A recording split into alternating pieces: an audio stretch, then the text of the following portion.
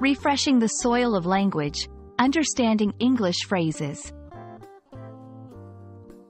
Hello, language enthusiasts. Welcome back to our channel.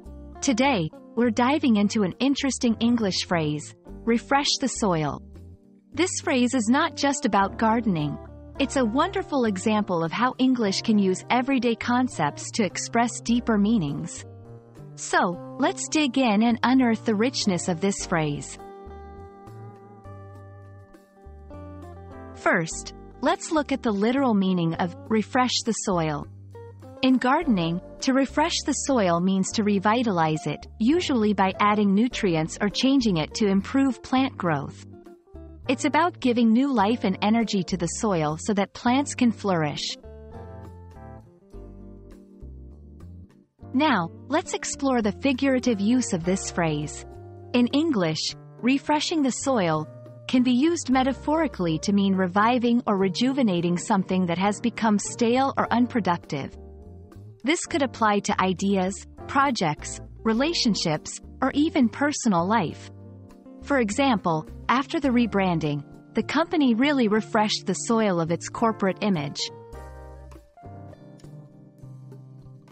Understanding a phrase also involves knowing how to use it in context.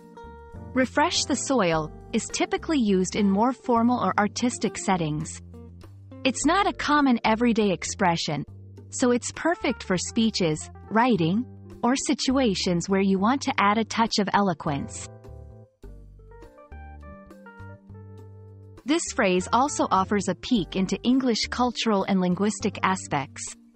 English often uses nature-based metaphors, reflecting the language's evolution in a culture closely tied to the natural world. Refreshing the soil is a great example of this tradition, symbolizing renewal and growth. And there you have it.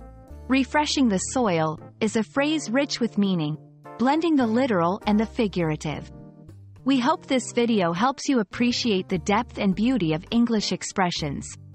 Keep cultivating your language skills, and until next time, happy learning!